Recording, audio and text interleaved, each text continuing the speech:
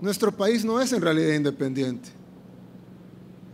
No es independiente de la pobreza, de la violencia, de la desigualdad.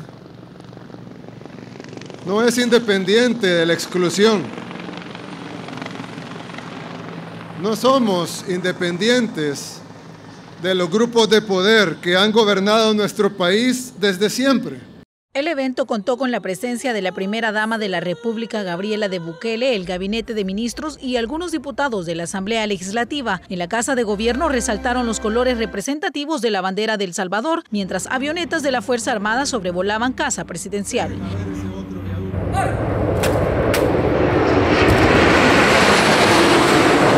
Entre las primeras actividades fue rendir un minuto de silencio en memoria de los héroes nacionales.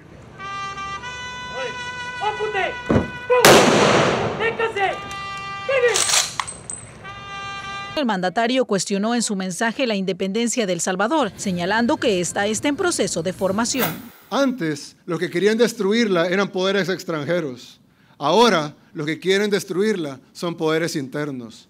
Nuestras amenazas no son extranjeras, son locales. Y eso no lo digo yo, eso lo sabe el pueblo salvadoreño que lo ha sufrido en carne y propia. Esa amenaza de los poderes locales que quieren destruir nuestra patria. Al menos para mí, el 15 de septiembre no es el día de nuestra independencia, ya que aún no somos independientes. Y sería una contradicción decirle así entonces. Pero para mí, sí es el día que iniciamos ese proceso de independencia. Durante el discurso recalcó que El Salvador es uno de los países a nivel regional que ha respetado las medidas sanitarias para el combate de la pandemia. Me atrevería a decir que El Salvador es uno de los países del mundo que cumple más las medidas. Y eso se refleja en los números de la pandemia y se refleja en el número de camas de los hospitales vacías. Tenemos los mejores resultados de toda la región y hoy por hoy uno de los mejores resultados de todo el continente. De igual forma destacó algunos logros en un año de gestión de este gobierno. En solo un año hemos conseguido que El Salvador se convierta en un referente en el tema de salud.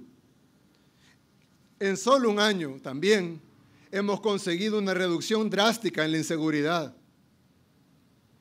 Una reducción sin precedentes, un logro que por más campaña sucia, comisiones legislativas e interpelaciones, no se puede negar.